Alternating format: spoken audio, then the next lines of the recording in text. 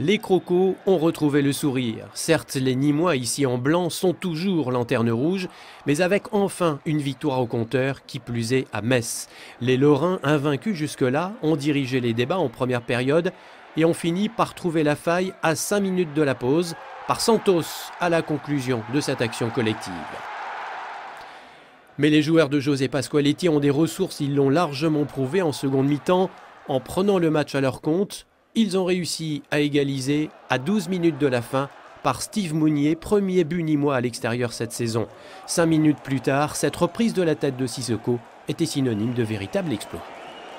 On n'a pas fait le match que, l'on était venu faire en première mi-temps. Beaucoup de précipitations, beaucoup de déchets techniques. Une équipe qui, nous, qui, avançait vers nous, qui ne nous a pas laissé jouer. Et puis, euh, effectivement, en deuxième mi-temps, on, on, avait décidé d'aller chercher un petit peu plus haut. Je pense que l'apport aussi, la rentrée de, de et de, et de Sergio ont quand même été importantes. Vendredi, Nîmes Olympique recevra le Red Star.